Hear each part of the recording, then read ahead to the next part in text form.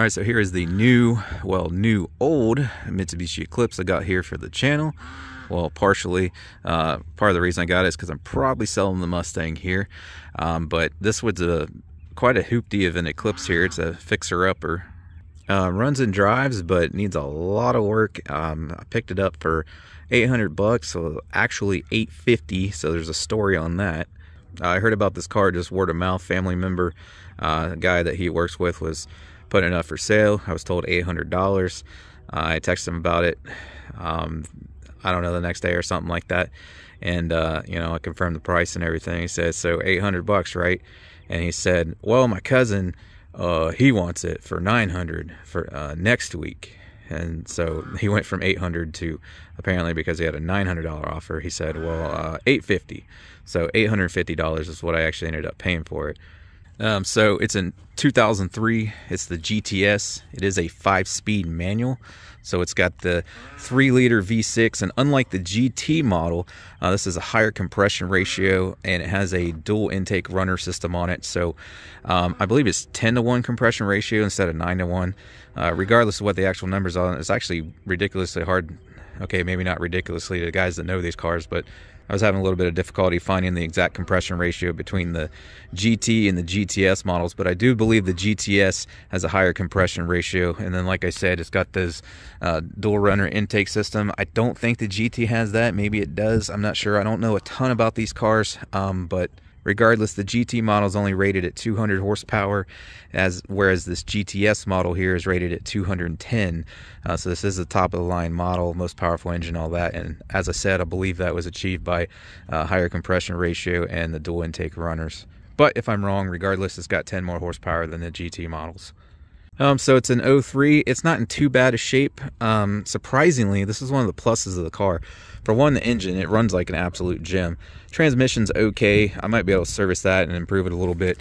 Um, but this only has 138,000 miles on it. So, uh, you know, the interior is not perfect, but it's not bad. There's no like huge tears or anything. You know, usually you don't even get that. Usually the driver's seats are tore up and whatnot. So the interior is not too bad a shape. I mean, it's not perfect, but it's not terrible, honestly. Um, that door handle there is a little faded. It's got these aftermarket wheels. Um, the one on the other side doesn't match. They are plastic dipped. I would prefer like a gloss black. I might be painting them. Um, it's completely stock except for this. It has a, I looked under, it has a Greddy catback exhaust system on it. Um, you can even see, this is how it was sold to me. Um, dirty. So she needs a bath as well. I'll see if I can show the engine here. So again, real low miles for the year. 138,000 miles. Engine is 100%. I got some rock chips on here that aren't too bad yet with some rust I need to take care of. Uh, there's, you know, little scratches and dents here and there. Got some rust on the core support there and whatnot. Shock tower's in pretty good shape though. So, you know, this is a, a Ohio car, so we do have rust here, but there's the engine bay there, and as you can see, she's not in too bad a shape. So like I said, it's all stock except for the catback exhaust system. So you got stock intake. It does have a K&N filter that's dirty as hell that I'm going to replace and or I'll be getting cold air intake or something. Um, you know, it's factory manifolds and everything. So completely stock under the hood. Um, like I said, I don't remember if the GT has it too or not, but this has the dual runner. So right here is part of the uh, actuating system. It flips this butterfly here at a certain vacuum. It'll pull the other runners open so it maximizes your high RPM uh, power there. So here on the other side, there's the wheel that doesn't match the other three. It's got a little bit of curb rash on it too. So three of them look like this. And there's that one. and I think, uh, what were these? No, they're OZs, and these things are like 200 a piece when new. So it's actually pretty nice wheels on it. Just got some generic Cooper tires. The ones on the back are in okay shape. The fronts are practically bald, so that was part of it too. Is I got to get some uh, new front tires at a minimum. Brakes are okay, but they do squeal a little sometimes. All the glass is good, no cracked windows or windshields or anything like that. I always hate that when you get a cheap car and like the front windshield has a crack. Uh, it's got a moonroof on it. I was told it works, but I'm probably not going to test that theory out. Power windows, I did try this one out on the test drive and it works okay, but it's kind of slow and sticky. Uh, but yeah, that's the Eclipse. So I think I'll just keep it short here with this one. I'll post a follow-up video uh, discussing everything that's wrong with it and everything I need to replace and whatnot.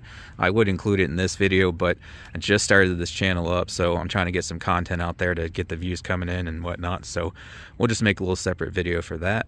So I'll have that coming up. There is quite an extensive list other than just the few things I've mentioned here. There's quite a bit more. Uh, we got some leaks and whatnot. Um, some suspension work, etc. So we'll have that coming up soon. We'll go over the list. Uh, everything wrong with my $800 Eclipse, as they like to do. Uh, thereafter, I'll probably post a video or two uh, fixing some of the stuff and just updates on anything else I do. And I do plan to do at least a few modifications, like I want to do something with the airbox, maybe get a cold air intake or something like that. Looking into uh, aluminum crank pulley, something like that. I mean, this thing's just kind of a beater, but I do want to have a little bit of fun with it. So, and that's kind of what I've always done. I like getting cars and at least doing a few bolt-ons just to make them a little better, a little more fun to drive. So, uh, with that, thanks for watching, and I hope to catch you on the next one.